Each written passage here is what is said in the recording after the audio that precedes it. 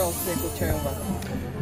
No, vlastně úplně náhodou jsem kdysi, je to už vlastně více jak 20 let, jsem se seznámil s Viktorem Faktorem, který tady vlastně se čajovou školou a vůbec jako podávání čaje, čajovými obřady vlastně zabýval už v 70. let. On byl jako emigrant, pak se vrátil a jednu z knih, kterou vlastně přeložil, tak byla Cesta čaje, Mysl čaje od Solšicu Sena. A tu já jsem si přečetl a s chodou okolností jsem chodil do knihkupectví, kde on pracoval. A tak jsme se dali do řeči a mě říká, jestli chci tam dělat na brigádu, na brigádě v tom knihkupectví a jsem řekl, že jo, jsem byl v té době student.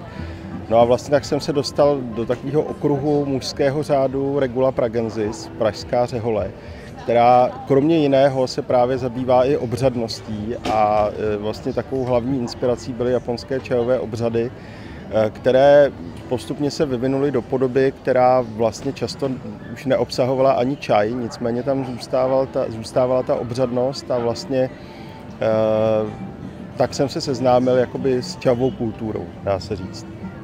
Tak eh, vlastně eh, ta čajová kultura před revolucí tam mě úplně nezasáhla, nicméně znamí teda z vyprávění vlastně brat, bratří řeholníků, Eh, protože oni v té době pracovali jako čerpači úvodních zdrojů eh, v maringotkách volně v krajině.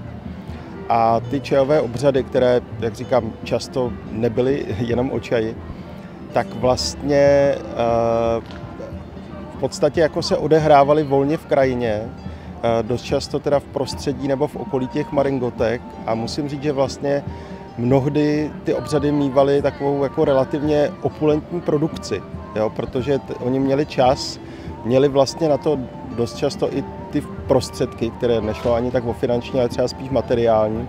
Takže si vzpomínám na vyprávění, kdy se třeba udělala taková stromová uh, plošina, která měla, byla třeba ve výšce 10 metrů, uh,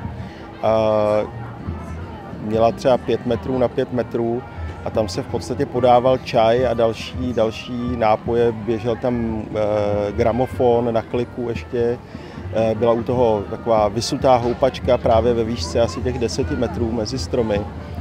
A vždycky někdo, nějaký jako mistr toho obřadu, prostě podával nějaký nápoj, dost často to byl čaj, ale samozřejmě v té době před revolucí tady nebylo příliš možné pořídit si nějaký jako kvalitní čaj, takže, takže to trošku na to naráželo, takže se podávaly jiné věci. Nicméně ta myšlenka vlastně z toho čajového obřadu, ta v tom byla obsažená, takže, takže eh, dá se říct, že to byl čajový obřad, nicméně občas byl i bez čaje. Já si vzpomínám, že uh, tehdy vlastně v těch 90. letech, kdy se tady rozjížděla uh, dobré čajovny, tak uh, já si vzpomínám, že tehdy zakladatel uh, dobrých čajoven, to bylo někdy kolem poloviny 90. let, tak právě pro nás připravil speciální obřad, kde jsem třeba poprvé ochutnal vůbec v životě mača, čaj mača, což pro, tehdy mě to naprosto natchnulo a musím říct, že do dneska vlastně si na to vzpomínám, protože vlastně jsem si vůbec takhle čaj nepředstavoval. V podstatě pro mě to bylo úplně, ten, ta, ta pudrová forma toho čaje uh, bylo jakoby novum, o kterým jsem vlastně jakoby neslyšel do té doby. A, uh, no a byl to jako velmi příjemný zážitek. Do dneška maču jako mám velmi rád.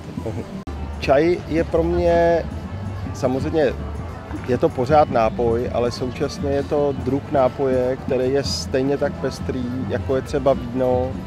Eh, je dokonce pestřejší než z mého pohledu třeba káva nebo čokoláda, nicméně i já jako, jako gourmet jsem ochutnal spoustu různých čokolád, spoustu různých káv a tak dále, nicméně ten čaj je pro mě stejně tak pestrý jako třeba víno. Takže eh, pro mě je to smyslový zážitek, který právě třeba prostřednictvím toho obřadu se posouvá ještě na nějakou další úroveň, která, která je spojená třeba se spojením s těmi ostatními lidmi. To znamená, že to je něco, co spojuje ty, ty, ty, ty kteří sedí eh, vlastně u toho čaje a pokud se jedná opravdu o obřad třeba s, s jednou čajovou miskou, tak prostě je to, je to pro mě ten vlastně bod nebo nápoj toho spojení s těmi ostatními to je pro mě čaj.